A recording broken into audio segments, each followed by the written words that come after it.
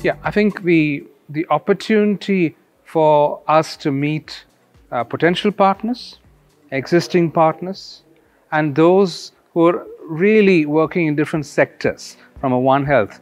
Um, it's very difficult sometimes to have everybody together. And this conference presents that unique opportunity. And therefore, I think it's very important that we're here. And that is why actually many of us have come from uh, ICARS, uh, representing different projects. The second point I think, which is very important, is that many of our partners who are doing projects are here presenting their projects. And that gives us a, a feeling of fulfillment, but also uh, allows us to be able to um, talk with them about the challenges, about the successes, about the progress, and together, and this is not just one to one, together when we sit in a room together, for example, learning from each other is once again a very unique opportunity, and therefore uh, it's a privilege. And last but not the least, working with REACT and REACT Africa again is a unique privilege. Um, both groups work on the ground. Uh, both groups are very passionate about AMR, and both groups really want to do something for the people most in need. And therefore, it's a great partnership.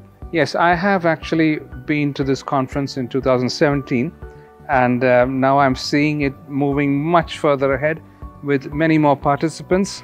Uh, and I can see the progress in each country that uh, AMR, in terms of AMR containment, in terms of strategies, in terms of uh, actual interventions. Uh, and so, therefore, I see hope.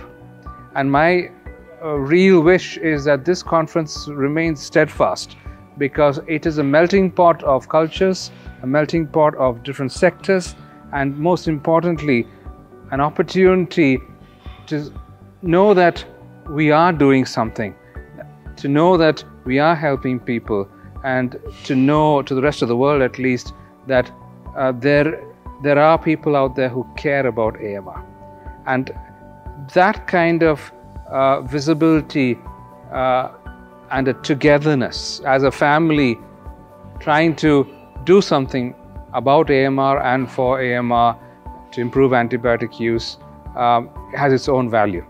And this conference, I hope and pray that as the years progress, that each year we can see that progress steadfastly, but also be accountable for all the uh, investment which is being put in for to the various partners, okay, across the world and not just in Africa. And I think, therefore, that I see this conference being one of the most foremost conferences in AMR um, as as we move across the various SNAP versions across the UN high level meeting, and most importantly, um, when we really get to the crux of the critical moment where antibiotic effectiveness is really at its edge.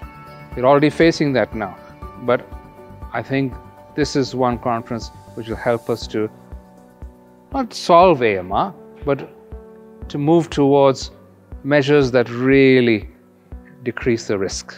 Thank you.